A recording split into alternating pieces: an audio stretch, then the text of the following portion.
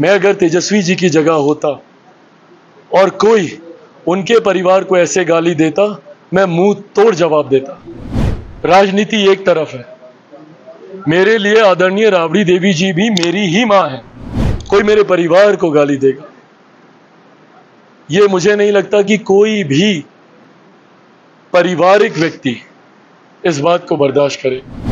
तकलीफ़ मुझे इस बात की भी है कि उस मंच पे मेरा छोटा भाई तेजस्वी मौजूद थे?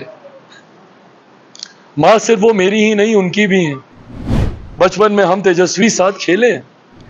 और अब मैं नाम लेके बोल रहा हूँ, मैं राष्ट्रीय जनता दल की बात कर रहा हूँ।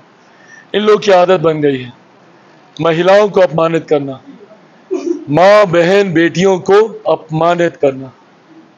एक गंभीर विषय की मैं ज़रूर चर्चा करूँगा, जो मेरे लिए बहुत पीड़ादायक रहा। है जो मेरे लिए बहुत ज़्यादा दुखी करने वाला विषय रहा। राजनीति में कई बार हम लोगों ने कई तरीके के आरोप, प्रत्यारोप झेले हैं और झेलेंगे भी। मैं हमेशा से राजनीति में शब्दों की मर्यादा का पक्षधर रहा हूँ। मेरे लिए मैं मानता हूँ कि कड़े से कड़ा विरोध भी मर्यादित शब्दों में रहकर किया जा सकता आपको कड़ी से कड़ा विरोध दर्ज कराना है भारतीय भाषा में, और मैं हर भाषा का ज़िक्र कर रहा हूँ।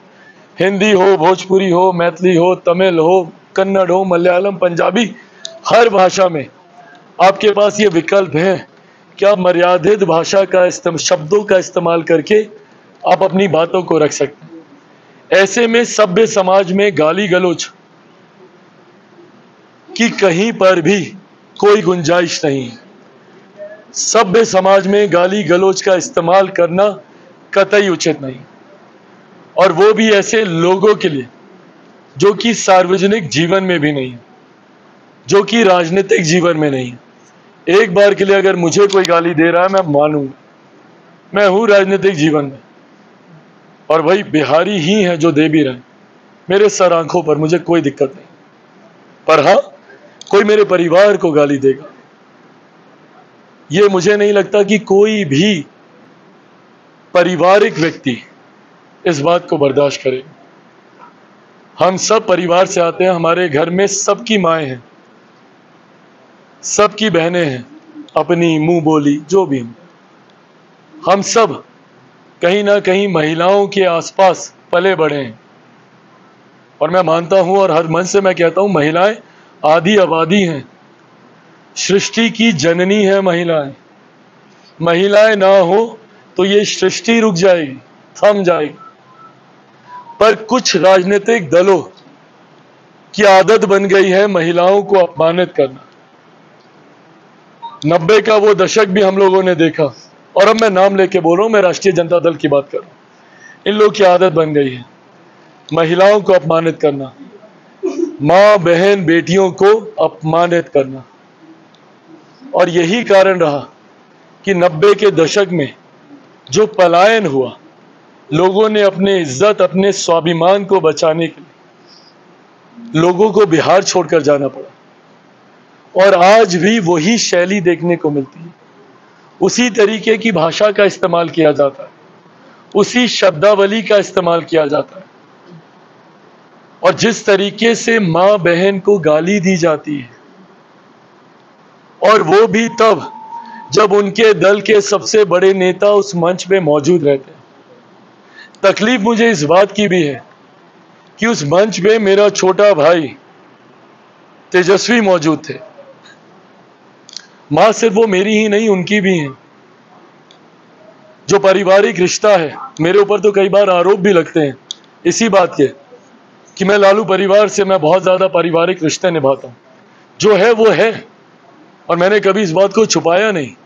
मेरे नेता, मेरे पिता आदरणीय रामविलास पासवान जी का वो संबंध आदरणीय लालू जी के साथ रहा। है दोनों समकक्ष रहे हैं, साथी रहे सहयोगी रहे बचपन में हम तेजस्वी साथ खेले हैं। वो रिश्ता रहा है हम दोनों के परिवार के बीच। राजनीतिक मतभेद एक तरफ़, और इस चीज़ को उन्होंने भी खूबसूरती से निभाया है, मैंने भी निभाया। राजनीतिक मतभेदों को एक तरफ़ रखा है, पर भले मेरी भतीजी का जन्म हो या उनके यहाँ इफ्तार की पार्टी हो, मैं हर उस आयोजन में मैं जाता रहूँ। अलग गठबंधन में होने के बावजूद भी, क्योंकि मेरे पिता ने ही मुझे इन व्यक्तिगत संबंधनों को निभाना सिखाया। पर ऐसे में जब उन्हीं के सामने मेरे परिवार के लोगों को गाली दी जाती है, मैं अगर उनकी जगह होता, मैं अगर तेजस्वी जी की जगह होता और कोई उनके परिवार को ऐसे गाली देता, मैं मुँह तोड़ जवाब देता, उसी वक्त देता। राजनीति एक तरफ़ है। मेरे लिए आदरणीय राबड़ी देवी जी भी मेरी ही माँ है। और मैं कतई फ़र्क नहीं करूँगा, उनमें और अपनी माँ में। मेरे लिए उनका सम्मान उतना ही है, जितना मेरी अपनी माँ का है। मेरे लिए मीसा दी हो, या मेरी तमाम और बहनें उनके परिवार की। उनके लिए वही सम्मान है जो मेरा मेरी अपनी बहनों के लिए। राजनीतिक लड़ाई में राजनीतिक मंच पे लड़ूँगा और डट कर लड़ूँगा। पर अगर मेरे सामने कोई मेरी माँ राबड़ी देवी जी को ऐसा बोलता, मैं मुँह तोड़ जवाब देता हूँ। और उसके बावजूद वो वहाँ पर खड़े रहे, सुनते रहे। एक शब्द उन्होंने बोलना ज़रूरी नहीं समझा। तो ये याद दिलाता है उसी दौर की। जिस दौर की याद लोगों को ना आए मेरे छोटे भाई ने अपने पिता की तस्वीर हटा दी थी। 2020 के चुनाव में। लोगों को जंगल राज की याद ना आए, उन्होंने तमाम बैनर पोस्टर होर्डिंग से अपने ही पिता की तस्वीर हटा दी थी। क्यों? क्योंकि वो एक नई छवि बनाना चाहते थे। पर अफसोस, मेरा छोटा भाई कभी ऐसे नई छवि नहीं बना पाएँगे। अगर उन्हीं के सामने बहन बेटियों को इस तरीके से अपमानित किया जाएगा और ताजुब होता है मुझे उनकी पार्टी की प्रत्याशी को लेकर। आप भी महिला हैं। कुछ दिनों पहले उनके कुछ वीडियोस मेरे पास आए। मेरे पार्टी के लोग यहाँ बैठे हैं। एक शब्द मैंने नहीं बोला उसके ऊपर।